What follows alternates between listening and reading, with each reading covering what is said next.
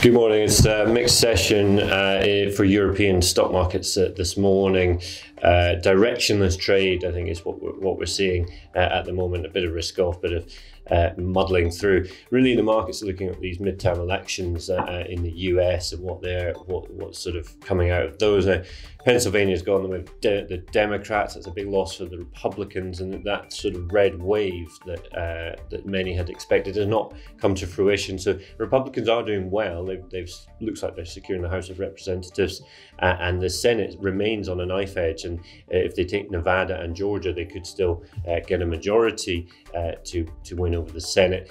But it's uncertain now, especially after that Pennsylvania result. So the market just waiting to see what falls out from the election. Generally speaking, everyone's saying that gridlock, so a divided government, is actually good for the market because it reduces the chances of tax cuts, it reduces the chances of big increases in spending, and all that sort of uh, fiscal largesse that can uh, juice the economy and therefore make the Fed's job even harder and make the Fed have to raise interest rates more. So uh, the market is looking for gridlock and then for a kick on into December and that December Fed meeting to see whether or not there's any dovishness. Now, a lot will depend on tomorrow's CPI numbers, so we're looking for that one.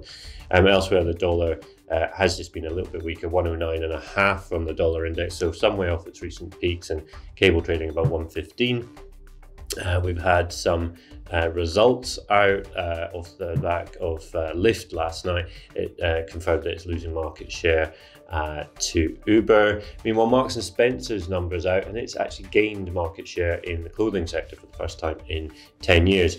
And then the big news overnight really was that FTX exchange um, meltdown, which is uh, near collapse. It's been bailed out by rival Binance, and the crypto space across the piece is under a heap of pressure. So Bitcoin trade, traded down to 16,800, bounced back to 18,000 this morning. All the crypto currencies, all the major ones on the platform, uh, are, are, weaker. And we've got that read across, of course, to the likes of MicroStrategy, Coinbase, and others that are in that space. So keep your eyes on that crypto space. It has potential to have repercussions for the broader market. That's it for now. Thanks for watching.